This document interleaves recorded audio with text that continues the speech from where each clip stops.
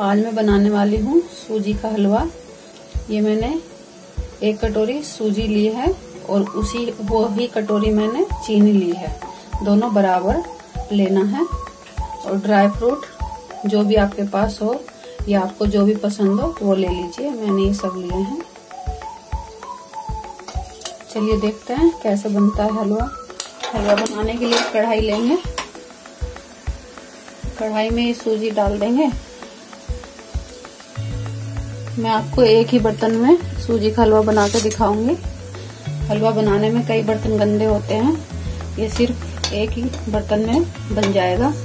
हम इसको थोड़ा सा भूनेंगे पहले, फिर हम इसमें घी ऐड करेंगे। गैस हाई फ्लेम पर रखे। जब लगे थोड़ा ये गर्म होने लगी है अच्छे से कढ़ाई तो आप गैस मीडियम रखें, नहीं तो सूजी जल जाएगी। इतनी सूजी भूनती है हम, दूसरी साइड पानी भी गर्म कर लेते हैं। जितनी हमने सूजी ली है, उतना ही हम पानी लेंगे उसी कटोरी से नाप के लेना है। एक कटोरी सूजी है, एक कटोरी चीनी और चार कटोरी पानी है। और ये हमें उबाल के रखना है पानी का। देखिए, सूजी भी थोड़ी थोड़ी सी ब्राउन होने लगी है। अब हम इसमें कर देंगे घी ऐड। घी इतना डालना है कि ये अच्छे से गीली हो जाए। घी थोड़ा ज़्यादा ही डलता है हलवे में। थोड़ा थोड़ा करके डालिए।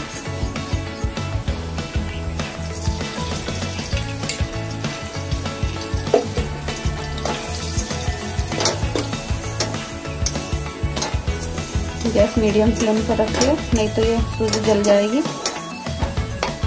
लगातार चलानी है ये ब्राउन होने तक, हल्की ब्राउन होगी, लाइट ब्राउन।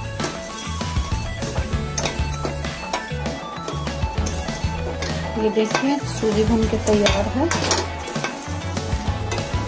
और हमारा पानी भी बॉईल हो चुका है। अब हम डालेंगे इसमें। गैस बिल्कुल धीमी कर लीजिए और हो सके तो किसी की हेल्प ले, लीजिए इसमें ढकने के लिए। थोड़ा थोड़ा करके पानी डालिए।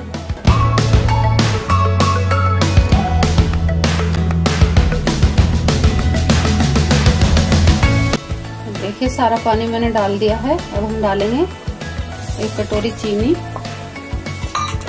और ये सभी ड्राई फ्रूट।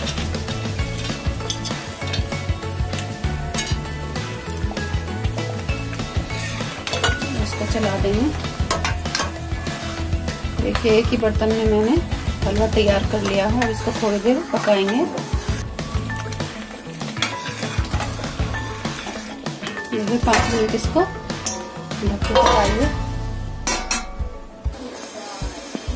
ये देखिए, हलवा बन के तैयार है।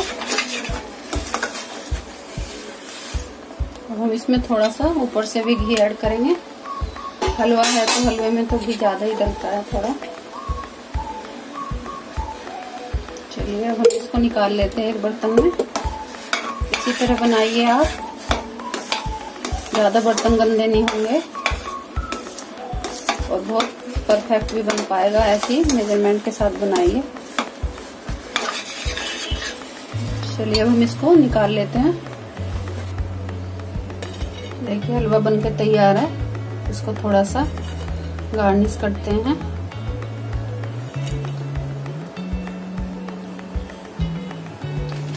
ये देखिए परफेक्ट हलवा तैयार है।